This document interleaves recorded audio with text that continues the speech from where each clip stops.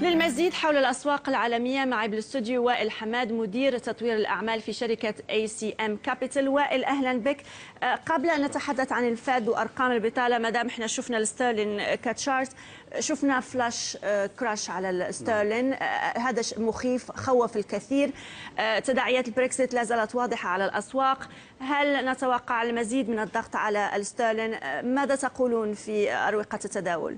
صحيح. آه، طبعا لاحظنا هذا التراجع وال flash crash الذي حصل آه، الجمعة الماضية. إلى حد الآن لم تصدر أي بيانات رسمية عن آه، بريطانيا بما حدث. ولكن كان الحديث هناك عن ال fat finger والغلط فني كان موجود. طبعا بعض المحللين أعزى هذا الموضوع إلى ال high frequency trading وهي أنظمة التداول الإلكترونية المدعومة طبعا بالمعادلات اللوغاريتميه هذا من شأنه أيضا أن آه، آه، يكون مؤثرا على على هذا الكراش الذي حصل. لأن إذا لاحظنا عندما عندما حدث هذا الموضوع كانت الأسواق الأمريكية قد أغلقت والأسواق الآسيوية آه، كانت تتهيأ للدخول. فلم يكن هناك سيولة عالية في السوق يعني سيولة تقريبا معدومة كانت في السوق.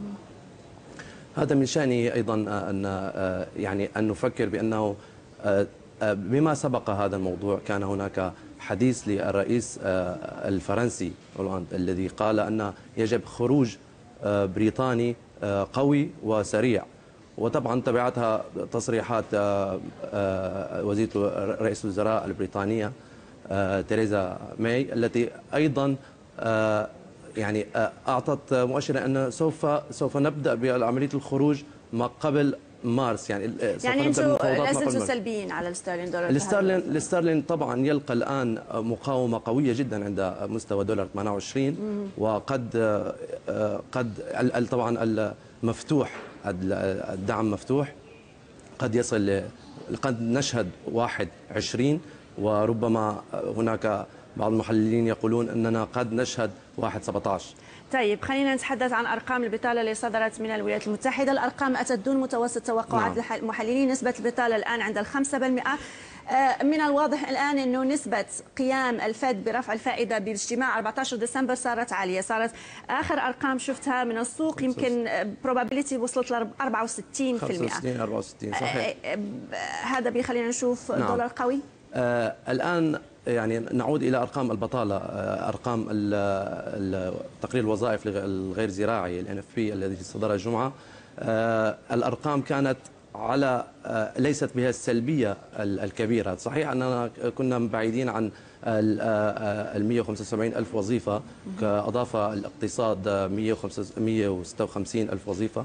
ولكن إذا نظرنا إلى معدل البطالة المرتفع كان له سبب وجيه هو أن زيادة نسبة المشاركة في سوق العمل آه، بالنسبة للاقتصاد الأمريكي زادت وهذا مؤشر جيد آه، عودة عودة العمالة إلى سوق العمل.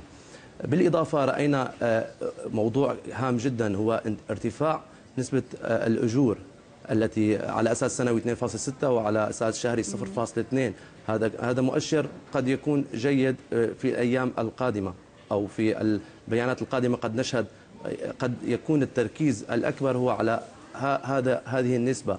إذا كانت تتفاعل بالفعل لأن يعني نحن نعلم أن معدلات أو مستويات الأجور تأتي متأخرة تستجيب متأخرة على ما يحصل في سوق العمل. فبالأشهر القادمة هناك متسع من الوقت الفدرالي الأمريكي على التفكير وعلى التثبيت هذه البيانات. آه، ربما آه، نشهد ارتفاع آه، للفائدة لأنه أصبح موضوع يعني ضروري ضروري. للفد. وأصبح يربك آه، الفدرالي الأمريكي ويربك يهز آه، شيء من المصداقية. ننتقل إلى الأويل آه، النفط كيف بتشوفوا هل فعلا الآن بدينا نتماسك على هالأسعار؟ إحنا قريبين من الخمسين على كل من برنت ونايمكس صحيح صحيح. طبعا هناك اجتماع الجزائر كان كان له الأثر الكبير في هذا الموضوع. ولكن إذا عدنا لأساسيات السوق العرض والطلب.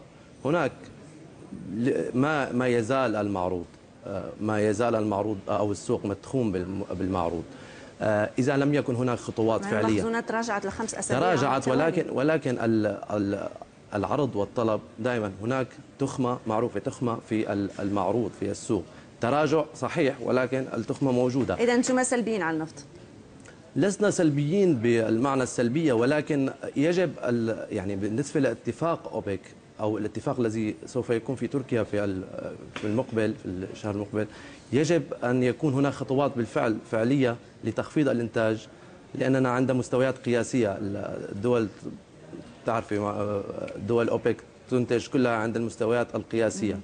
وائل حماد مدير تطوير الأعمال في اي سي ام كابيتال شكرا جزيلا لك. شكرا. جزيلا